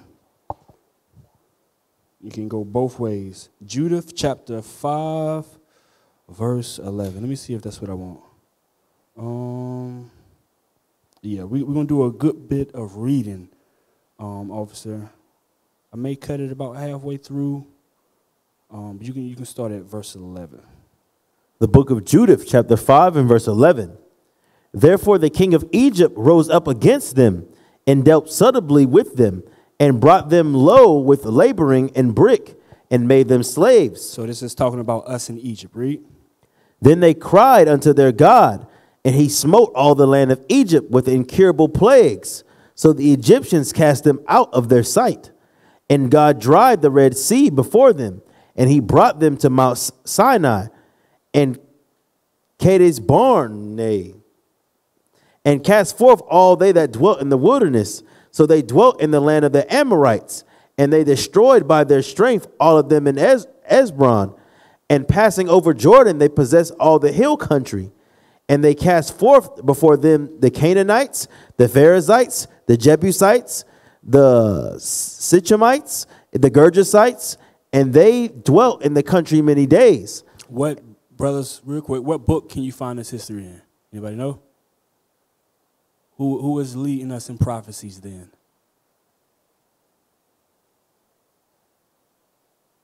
You know Soldier Jeremiah? Soldier Lael? This was during the time of uh, Joshua. During the time of Joshua. All right, read on, officer. And whilst they sinned not before their God, they prospered, because the God that hateth iniquity was with them. But when they departed from the way which he appointed them, they were destroyed in many battles very sore, and were led captives into lands that was not theirs. And the temple of their God was cast to the ground, and their cities were taken by the enemies. But now they are returned to their God, and are come up from the places where they were scattered, and have possessed Jerusalem, where their sanctuary is, and are seated in the hill country, for it was desolate. Now, therefore, my Lord and governor, if there be any error in this people, and they sin against their God, let us consider that this shall be their ruin, and let us go up, and we shall overcome them. But if there be no iniquity in their nation, let my Lord now pass by, lest their Lord defend them, and their God before them, and we become a reproach before all the world. So this is so this is the history. This is the heathen talking about our history. This is during the time of Judah. Read on. I mean Judith. Sorry. Read on. And when Achior had finished these sayings, all the people standing round about the tent murmured, and the chief men of Holofernes and all that dwelt by the seaside and in Moab spake that he should kill him. For say they, we will not be afraid of the face of the children of Israel. For lo, it is a people that have no strength nor power for a strong battle. Now, therefore, Lord Holofernes, we will go up, and they shall be a prey to devour all to be devoured of all thine army. So they was looking to come and subdue us, destroy us. Just giving y'all the, the backstory on what was going on um, with Judith and her story about how she was found to be uh, a wise and understanding woman. Just giving y'all the backdrop. Uh, read on, chapter 6. And when the tumult of men that were about the council was ceased, Holofernes, the chief captain of the army of Ashur, said unto Achior and all of the Moabites before all the company of other, of other nations, And who art thou, Achior, the hirelings of Ephraim, that thou hast prophesied among us today, and hast said that we should not make war with the people of Israel, because their God will defend them? And who is God but Nebuchadnezzar?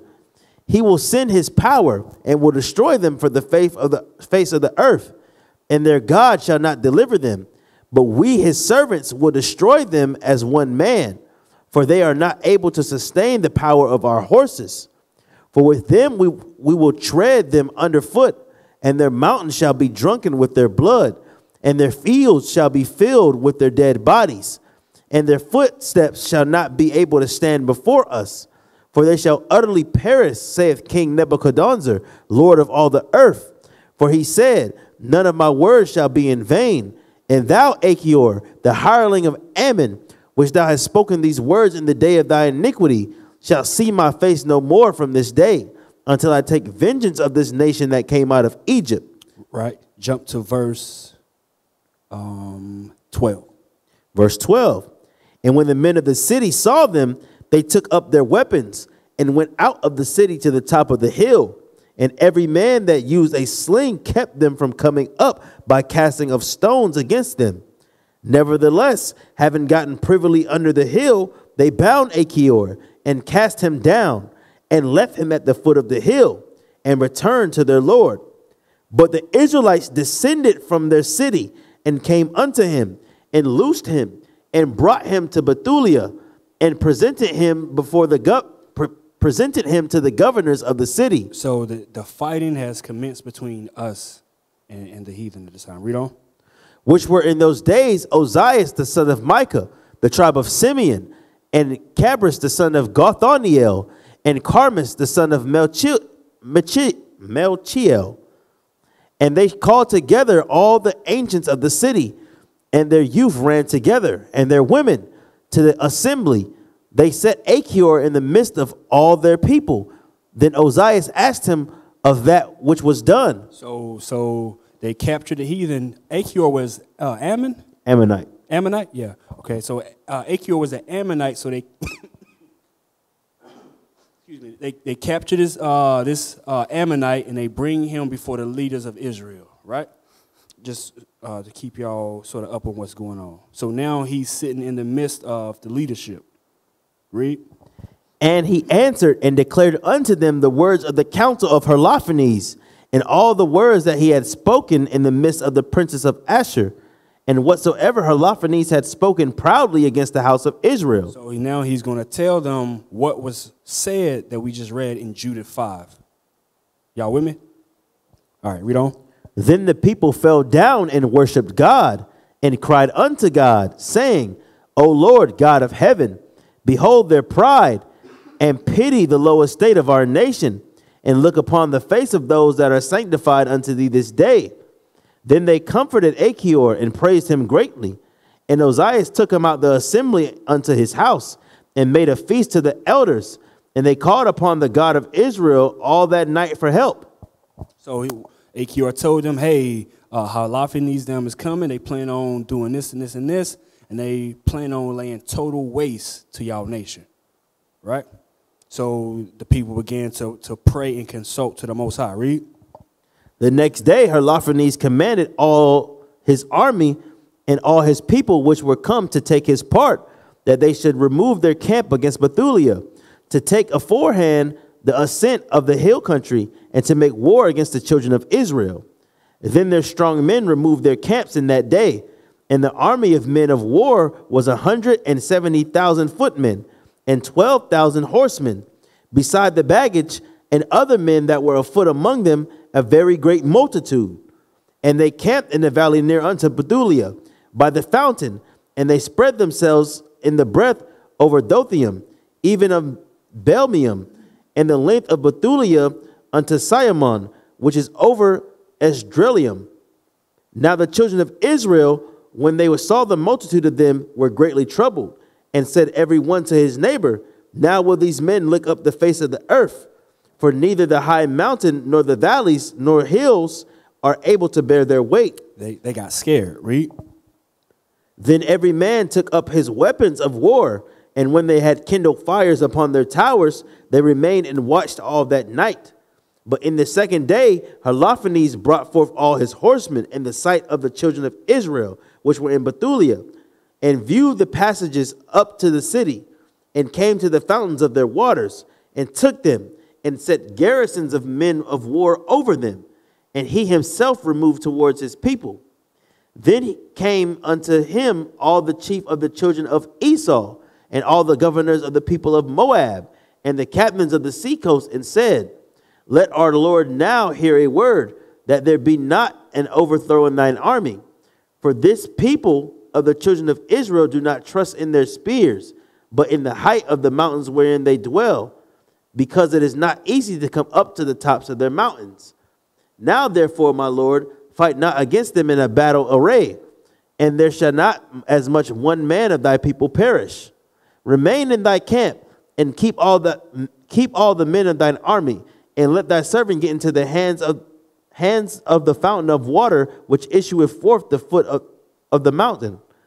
For all the inhabitants of Bethulia have their water thence, so shall thirst kill them, and they shall give up their city and we and our people shall go up to the tops of the mountain that are near and will camp upon them to watch that none go out of the city. Stop. One of the brothers tell me what's going on. Uh, they're cutting off their supplies, getting ready for war. They're gonna try to starve them out in a sense. Right, right. Wait one second. Follow up question. Where else did that happen in our history? Maybe the most common one, I'll say. And uh, the besiegement of Jerusalem in 70 AD. That's correct. All praises. So write that down, brothers. Follow up question. Where is that written that that would happen to us?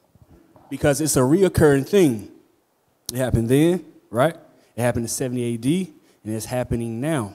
That's why they burning up all the crops, right? Got these random fires and these food facilities, so on and so forth. Leadership has been preparing us for the famine that's coming, right? For the shortage of food. The tactic is different, but it's the same. Um, give me a word. Same what? Huh? S- The same plot. The same, the same plot, the same outcome, the same uh, strategy. That's, that's the word I'm looking for. So, where is it that is written that that will happen to us? It's that uh, Deuteronomy 28, 50 or 49. Right. De- Deuteronomy 28. For the sake of time, uh, we don't have to get it. Let me, let me call it, though. Y'all can write it in your notes. Deuteronomy 28. Let's get the right verse. Uh, Deuteronomy 28, 52 on down to 56. That's the curse. That's why it keeps happening. It's, it's a curse in Deuteronomy 28. Again, Let me call it again. Deuteronomy 28, 52 to 56. That's the curse that's happening to us at this point. All right, officer, uh, you can continue. The book of Judah, chapter 7, verse 14. So they and their wives and their children shall be consumed with famine, and before the sword come against them, they shall be overthrown in the streets where they dwell. Thus shalt thou render them an evil reward, because they rebelled and met not thy person peaceably. And all these words pleased Holofernes and all his servants, and he appointed to do as they had spoken. So the camp of the children of Ammon departed, and with them five thousand of the Assyrians, and they pitched in the valley and took the waters and the fountains of the waters of the children of Israel. Jump to verse 19. Verse 19. Then the children of Israel cried unto the Lord God, their God, because their heart failed, for all their enemies had compassed them round about, and there was no way to escape out from among them. Thus all the company of Ashur remained about them, both their footmen, chariots, and horsemen, four and thirty days, so that all their vessels of water failed, all in the inhabitants of Bethulia, and the cisterns were Wait, wait, ample. wait, so we gave out of water. So um, jump to verse 23. Same chapter, verse 23. Verse 20, verse 23. Then all the people assembled to Ozias, to the chief of the city, both young men and women and children, and cried with a loud voice, and said before all the elders, God be judged between us and you, for ye have done us great iniquity, injury, in that ye have not required peace of the children of Ashur. For now we have no helper, but God hath sold us into their hands, that we should be thrown down before them with thir- thirst and great destruction. Now therefore call them unto you, and deliver the whole city for a spoil to the people of Holofernes and to all his army. So, so what do you have? The, the condition is so hard that some of our people are just ready to give up. What they pretty much saying is, let the heathen, hey, let them come, do what they gonna do, and things will be better for us. That's pretty much what they saying. Let them have their way. Read. For it is better for us to be made a spoil unto them than to die for thirst. For we will be his servants, that our souls may live, and not see the death of our infants before our eyes, nor our wives, nor our children to die. We take to witness against you the, the heaven and the earth, and our God and our Lord of our fathers, which punisheth us according to our sins and the sins of our fathers, that he do not according as we have said this day. Then there was a great weeping with one consent in the midst of the assembly, and they cried unto the Lord God with a loud voice. Then said Ozias to them, Brethren, be of good courage. Let us yet endure five days, in the which space the Lord God may turn his mercy towards us, for he will not forsake us utterly. And if these days pass, and there come no help unto us, I will do according to your word.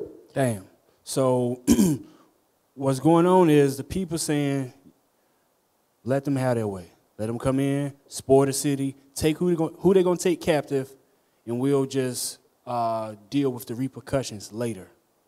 That's the that's the um, that's the council that's going on. And then um, Ozias say, okay, let's wait five days, see what the Lord gonna do. If he don't do nothing, then I'm gonna take that counsel. But that was that was the wrong way to go about it because now they tempting the Lord. Okay, Lord help us or forget it. You understand what? So now when you get to Judith, you understand what's going on with her and why she was so revered for for what she done. So now jump to chapter 8 and let's read all the way to um 20. 1 to 20. The book of Judith, chapter 8, and verse 1. Now at that time Judith heard thereof, which was the daughter of Merari, the son of Ox, the son of Joseph, the son of Oziel, the son of Elcia, the son of Anias, the son of Gideon, the son of Rapham, the son of Akito, the son of Elihu, the son of Eliab, the son of Nathanael, the son of Samael, the son of, son of Salasadai, the son of Israel. And Manasseh was her husband of her tribe and kindred, who died in the barley harvest. For as he stood overseeing them that bound sheaves in the field, the heat came upon his head, and he fell on his bed and died in the city of Bethulia. And they buried him with his fathers in the field between Dothaim and Balamo. So Judith was a widow in her house three years and four months. So we reading this again. Let's not forget the thought to see and, ex- and examine the mannerisms of the sisters and how they dealt back then. Read. And she made her a tent upon the top of her house, and put on sackcloth upon her loins, and wear her widow's apparel. And she fasted all the days of her widowhood, save the eves of the Sabbath, and the Sabbaths, and the eves of the new moons, and the new moons, and the feast and the solemn days of the house of Israel. So the sister fasted on a regular basis, right? Today, that would be the sister participating in the bi, the bi-monthly fast, at least. Read on. She was also of goodly countenance and very beautiful to behold. And her husband Manasseh have left her gold and silver. So the sister took care of herself. It said she was beauty. That's, that's relative. So we know the sister took care of herself. Read. And men servants and maid servants and cattle and lands, and she remained upon them. And there was none that gave her an ill word, for she feared God greatly. And she had a good report. Sister had a good report. They know, hey, um, we can depend on Sister Judith. Read. Now, when she heard the evil words of the people against the governor, that they fainted for lack of water, for Judith had heard all the words that Ozias had spoken unto them, and that he had sworn to deliver the city unto the Assyrians after five days. Then she sent her waiting woman that had the government of all things that she had to call Ozias and Chabris and Charmis, the ancients of the cities.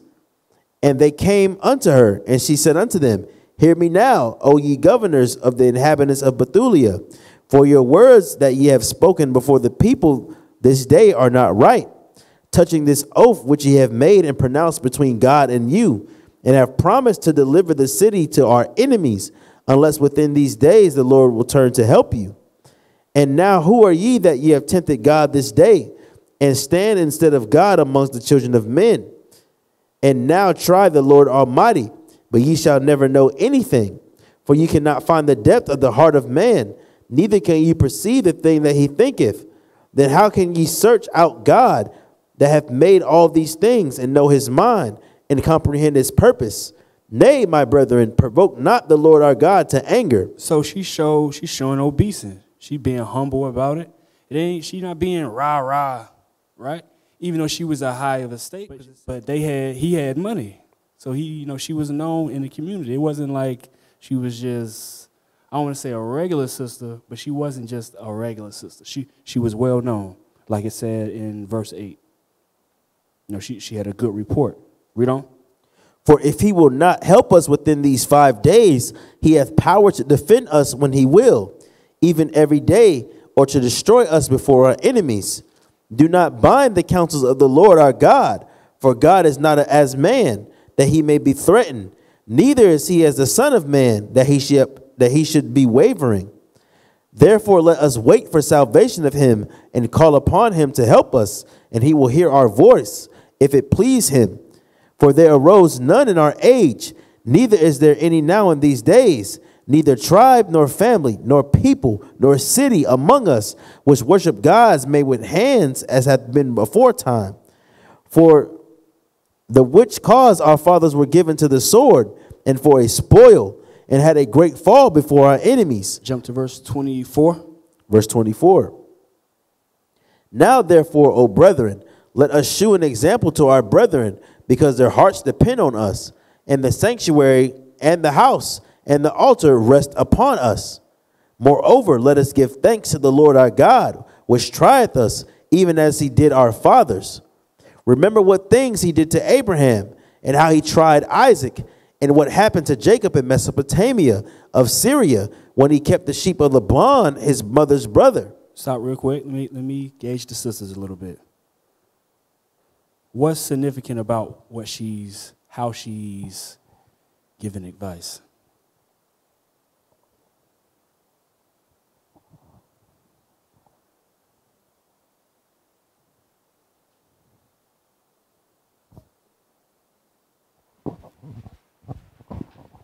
I think because she related it to our forefathers, Isaac, Yes. Abraham, and Jacob.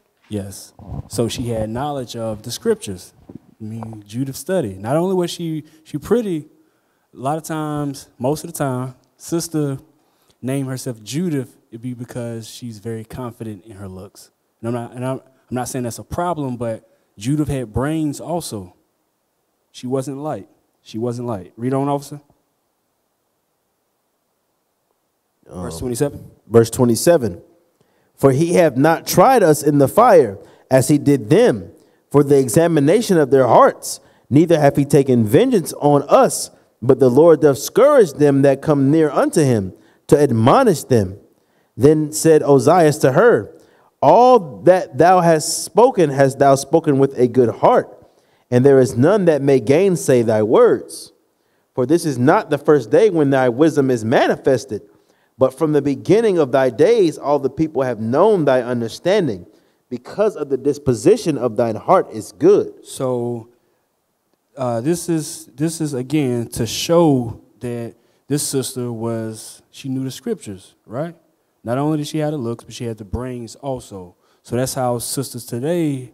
That's a sister for the sisters to model themselves after, right? So get me uh, Proverbs thirty-one. Uh, every sister favorite chapter. Am I right, sisters? Say what? right. Every sister's favorite chapter. Maybe. Maybe that's just my mind. Read verse 10. The book of Proverbs, chapter 31, and verse 10. Who can find a virtuous woman? For her price is far above rubies. It said, Who can find a virtuous woman? Because that woman, her price is above any amount of um, money that you can give. And this is why. Go back to go back to was it First Peter three, and read verse read verse four. This is why her price is above rubies.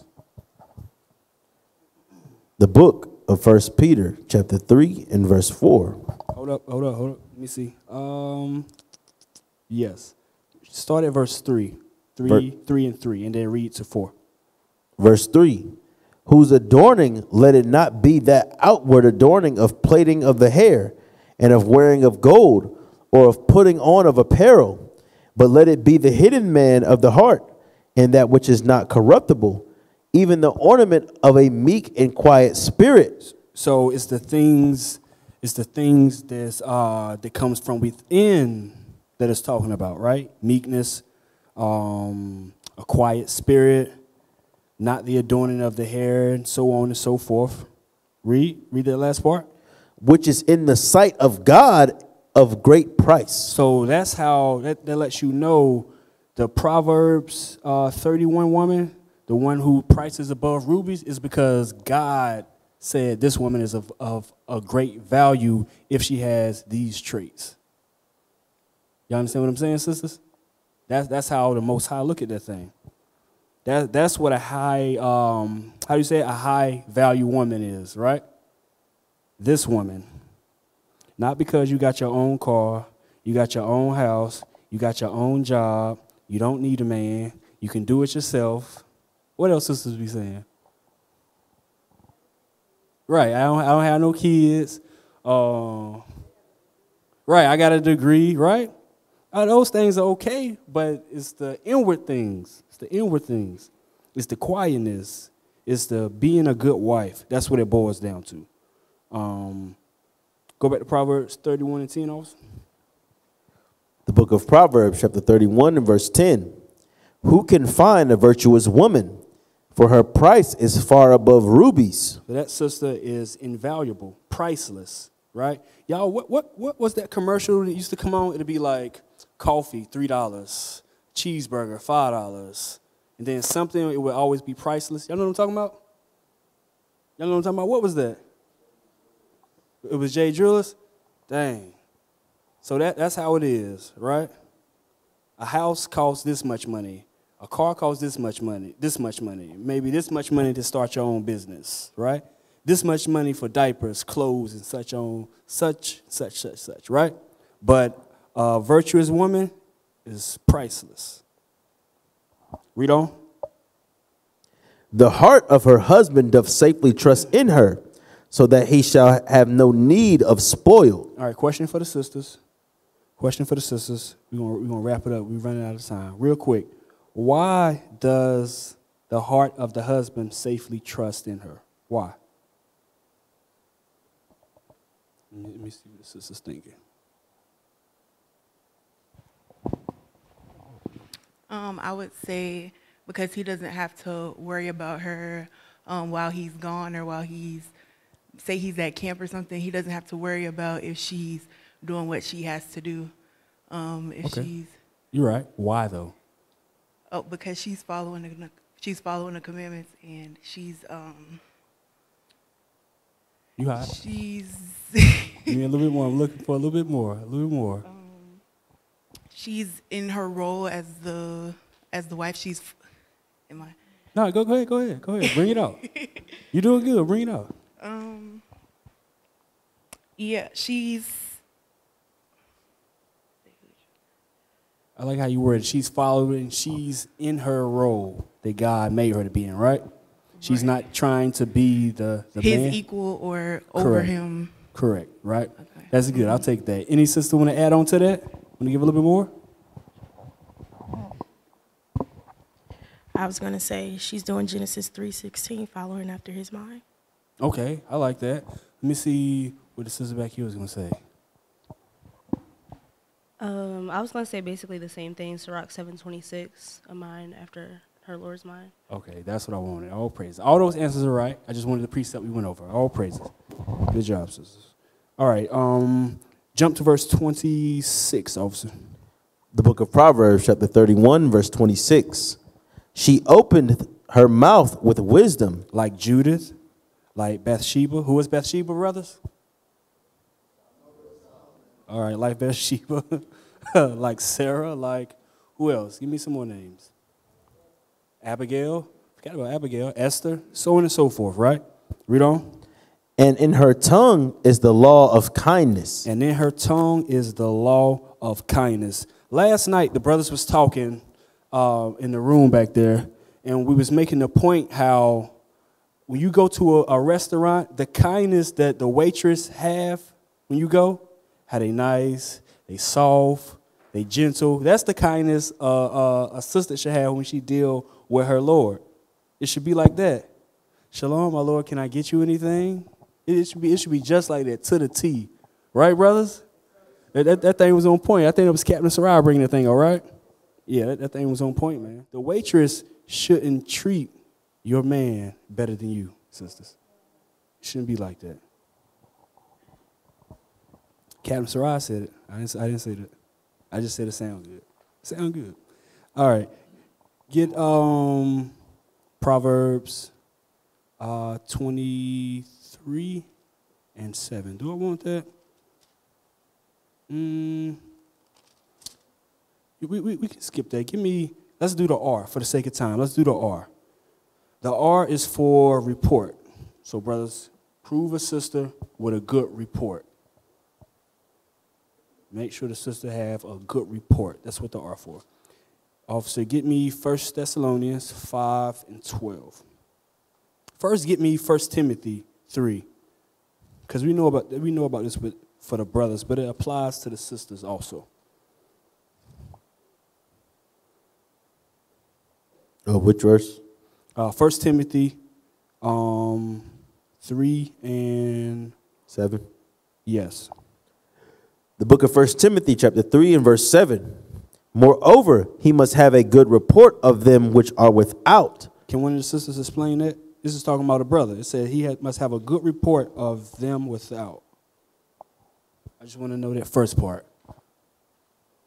What it, what it means, sisters. Um, the good report without is like when you're out in the world, your job, or just people without that that's not in the body. Okay.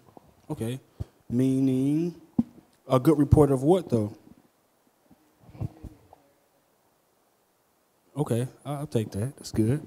Very good, very good. So now on the flip side, First Thessalonians 5 and 12.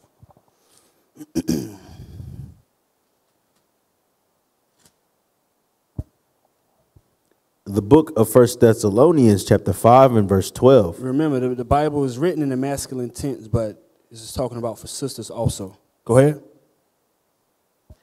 And we beseech you, brethren, to know them which labor among you. So, brothers is proven. You have to know the sisters that labor among you. Get beseech right quick, Officer Isaiah, real quick. A lot of times we, we read past that thing, but Paul is really uh, expressing something. Beseech. So, beseech. Can you read that, Officer um, Yosh? The definition of beseech to ask someone urgently or fervently to do something, implore, entreat. So he's pretty pr- to pretty much to beg. So read it again. Uh, Five and twelve. Verse 12. And we beseech you, brethren, So Paul is saying, "I beg you, brother," because it's a serious matter. Read. To know them which labor among you. Know the sisters that labor among you. I remember um, before I got married, when I came to the truth, I was putting in the work, right? Putting in the work. I never let it be an issue of whether or not I was proven. Or I didn't press the issue to be quick to find a wife. But the whole time I was watching to see which sisters was putting in the work, which sisters was around the leadership wives, which sisters was always off by themselves, which sisters had a good attendance. You got to pay attention, right? Read it again.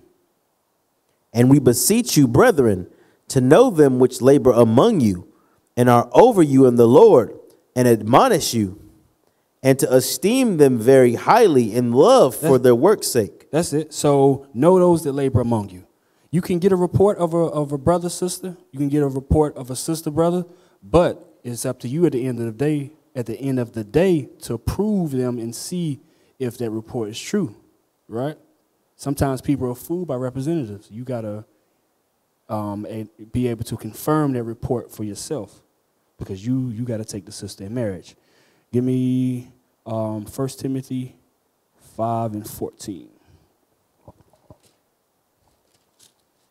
Let me see what that say. I wrote it down. I don't think I wanted it. Let me see. Um,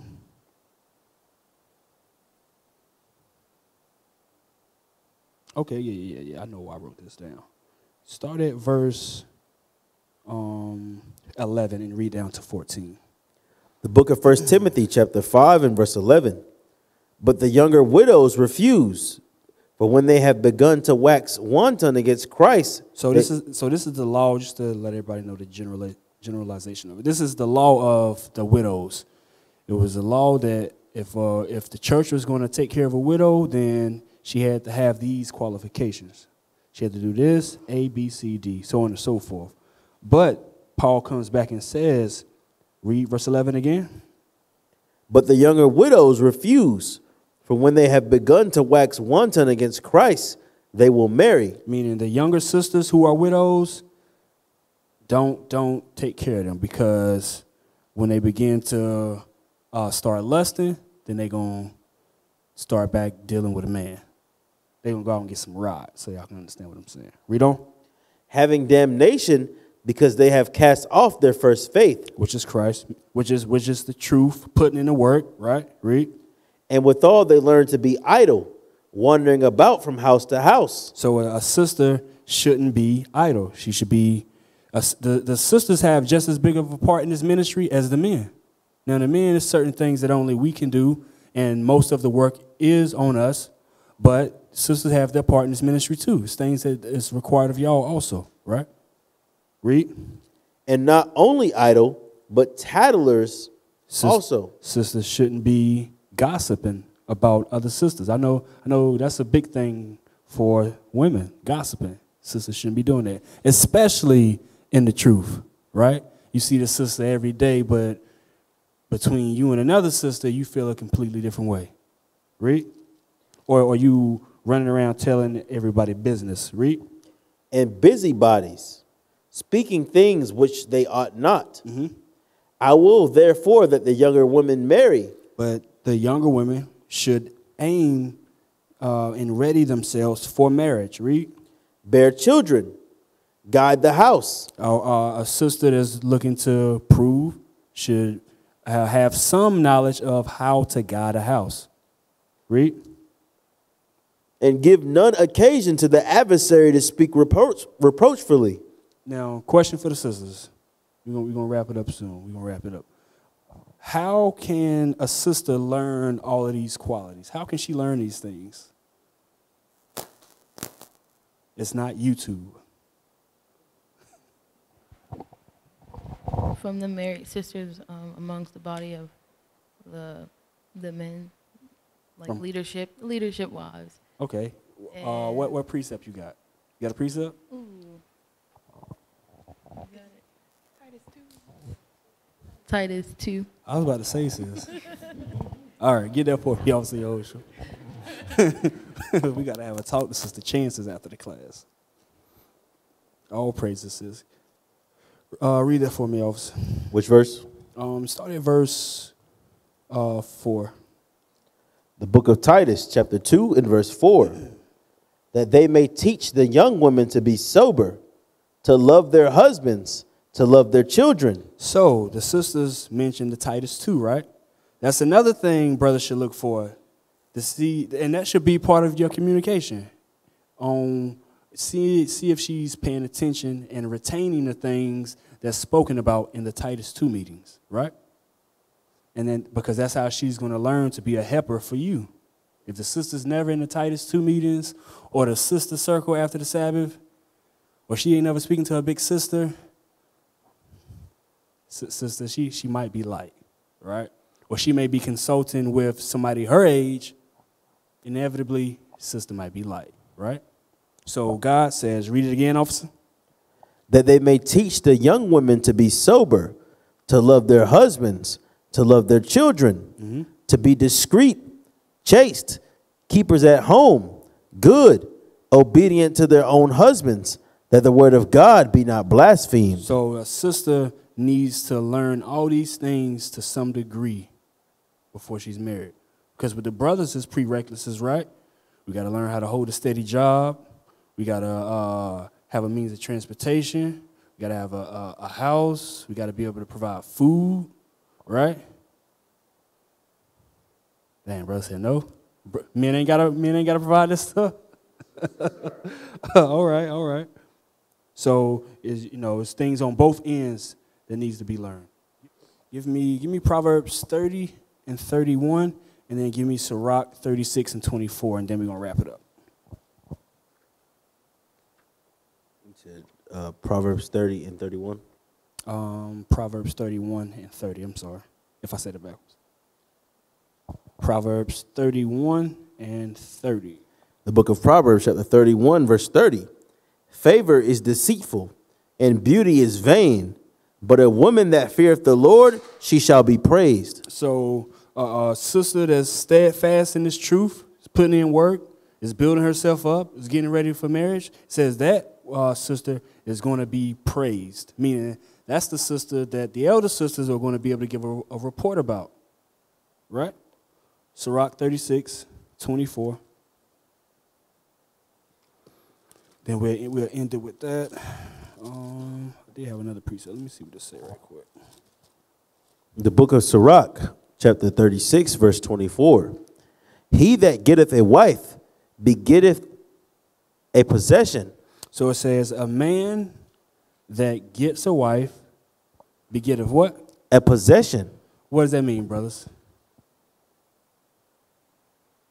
A man that gets a wife begins a possession. I mean, he's supposed to take care of her because he's you know the head, the provider, and then Take care of meaning what? Like he's supposed to keep her flossing and all the latest Gucci, Chanel. No. What you mean? Like providing, like Okay. Okay. All right, you right. You right. Let me hear what the other IT got. Yeah, so basically, when a man gets married, his ministry then changes. Um, he has responsibilities. With along with a wife comes a family. You got to provide for them, take care of them. You also have to teach her. Um, when it says that he'll she'll become a, a wife like after him, she, her mind will become like his mind. She'll become a pillar of rest. It's those things that he's instilling in her that he has to instill in her so that she can become that. So it's more than just um, Okay, I'll she do he. I'll my praise fault. it. Yes, sir. You good? It's like he's good, man. He's straight. That- that- That's good. Um, real quick, then we're gonna end it. Let, let me see what the sisters got. What what that mean, sisters? Help the brothers out. I know the sisters know. They begin to establish their household um, in their name, building up their family in the in the truth and the laws, statutes, and commandments. Okay. In in the okay. I'm with you. I'm with you. We got the thought. So let me ask you this: in verse 24, who's the possession? Okay. So it says a man begins a possession, right? So so what is it saying? That he begins to possess his wife, to Okay. have her, Okay. to take care of her, Okay. to build her up, um, and to establish his house in his name. All praise, all praise. That, that's what it means. I just wanted, I wanted to see what the sister was going to say. But that's what it means. A man that gets a wife, he begins a possession. So, to use an analogy, maybe the brothers maybe get a little bit more. The, the single brothers, I know, you know, a lot of the brothers married. It's like you get a car. When a man, when a man get a car, right? You gonna make sure that car clean all the time, right? You got a new car, right? You're gonna make sure that car clean.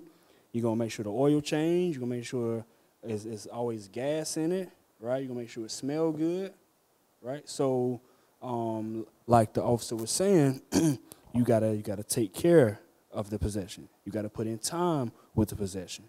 Everything that we read prior to this verse, you gotta do all those things to to build that sister up to be the woman that has a mind after your own.